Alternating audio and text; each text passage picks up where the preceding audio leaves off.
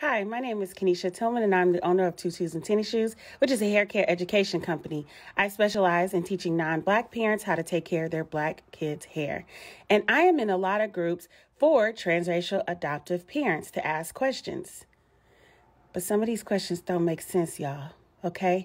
Um, I'm not going to say there's a such thing as dumb questions, but there's questions that don't need to be asked if you've seen black people or you've seen people in general. And I'm going to go over a couple of those questions and comments.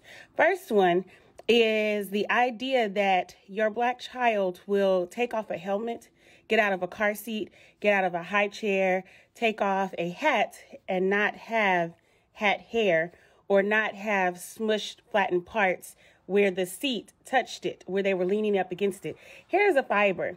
And just like your hair, just like the carpet, just like any other fiber, it can get smushed by things being up against it. So start having realistic expectations for your children's hair. The other one is my baby's bald. Yeah, not all black babies are born with hair. Not all white babies are born with hair. Somehow, when you have white babies that are bald, we just look over it. But then when you get a black child, you expect them to come out with a head full of hair for you to play in and dry out? No, ma'am.